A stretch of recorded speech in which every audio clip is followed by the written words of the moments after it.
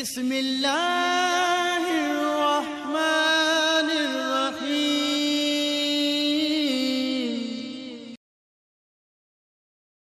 نحمده ونصلي على رسوله الكريم. أما بعد، فأعوذ بالله من الشيطان الرجيم. بسم الله الرحمن الرحيم محترم سامعین السلام علیکم ورحمۃ اللہ وبرکاتہ۔ رمضان المبارک کا مہینہ گزرنے کے بعد حج کے ایام شروع ہو جاتے ہیں۔ آپ صلی اللہ علیہ وسلم نے فرمایا، یکم شوال سے ہی اگر کوئی حج بیت اللہ کے سفر کا ارادہ کر کے روانہ ہو جاتا ہے، تو یہ سفر خاص طور پہ حج کا ہی کہلاتا ہے۔ لوگ مسلسل پہلے تو سواریوں پہ پیدل سفر کرتے تھے تو لوگ شروع ہو جاتے تھے شوال کی شروع کی تاریخوں میں۔ اب تو الحمدللہ بہت انتظام ہے، ہوائی جہاز کے ذریعے پہنچا جاتا ہے۔ پہلے بحری جہاز کے ذریعے جاتے تھے، اس میں بھی ٹائم لگتا تھا۔ اب تو بہت زیادہ سہولت ہے۔ اب اصل بات یہ کرنی ہے کہ حج کی سعادت حاصل کرنے کے لیے ہر بندے کے دل میں ایک تڑپ ہوتی ہے، یہ تمنا ہوتی ہے۔ اور اکثر یہ دیکھا گیا ہے کہ لوگ دعائیں کرتے رہتے ہیں کہ یا اللہ مجھے حج کی سعادت نصیب فرما۔ لیکن مجبور ہوتے ہیں، ان کے پاس وسائل اتنے نہیں ہوتے۔ اب اللہ سے ہم کس طرح مانگیں کہ اللہ ہمیں حج کے وسائل بھی عطا فرمائے۔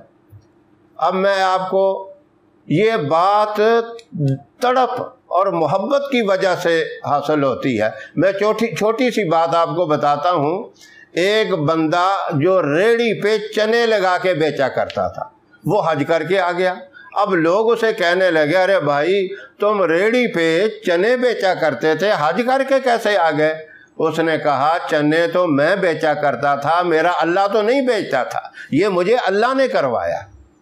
اس کے دل میں ایک تڑپ تھی، شوق تھا، محبت تھی۔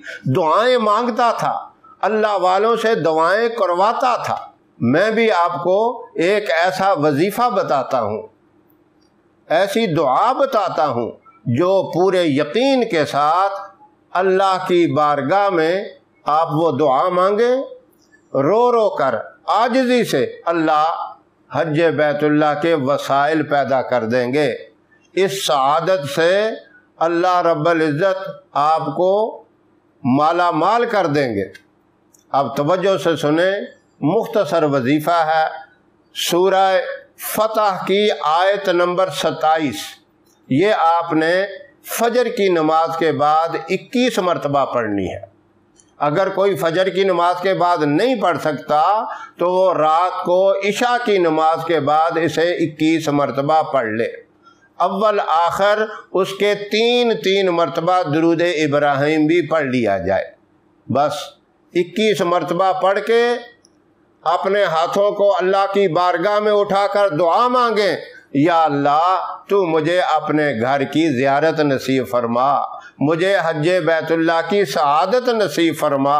انشاءاللہ اللہ رب العزت آپ کو حج کی سعادت نصیب فرمائیں گے اور بہت جلد اس کے وسائل بھی اللہ پیدا فرما دیں گے۔ آپ نے اس وظیفہ کو جاری رکھنا ہے۔ اس وقت تک جب تک آپ کو امید کی کرن نظر نہ آ جائے۔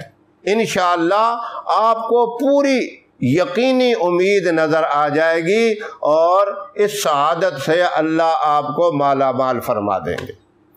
یہ وظیفہ بہت مجرب، بہت طاقتور وظیفہ ہے۔ اللہ رب العزت مجھے بھی تمام سامعین کو حج بیت اللہ کی سعادت بار بار نصیب فرمائے۔